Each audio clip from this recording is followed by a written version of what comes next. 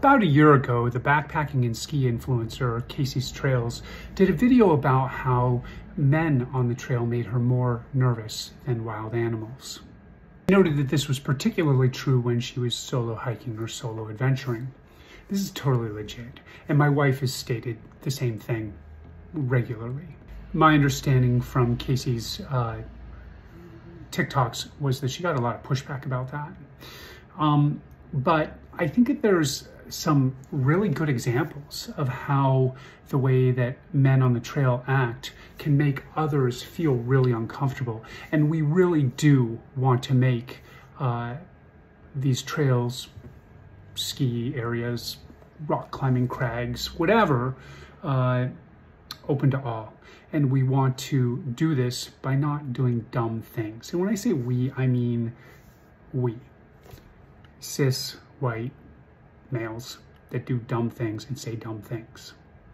So the other day I was on the trail, uh, urban trail, with uh, a friend of mine, his wife, and his 12 year old daughter. Uh, the three of us uh, have known each other since college. Uh, we are Gen Xers, and of course, uh, a 12 year old girl. So on the trail, this guy was coming up, and he was wearing one of these things, this harness with a knife in it. Um, weird. Uh, definitely makes us feel like he doesn't know what he's doing.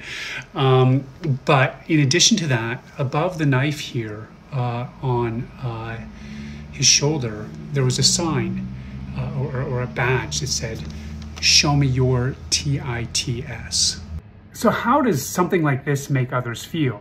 Well, when it comes to people with a lot of wilderness experience in essentially an urban forest, um, they look at this guy wearing paramilitary stuff who's a half a mile from the car and think that they're goofy um, or inexperienced uh, or trying to show other people, trying to portray something that they're not. Uh, that was my experience. That was my buddy's experience. That was not the experience of my buddy's wife and daughter. In both cases, they noted that if they ran into this guy by themselves, they would be quite nervous. I don't have a solution for this. I don't.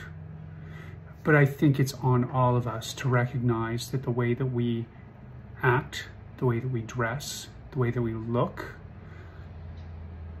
it has an impact. And if we really do want to create an environment that's welcoming to others, we can't be idiots.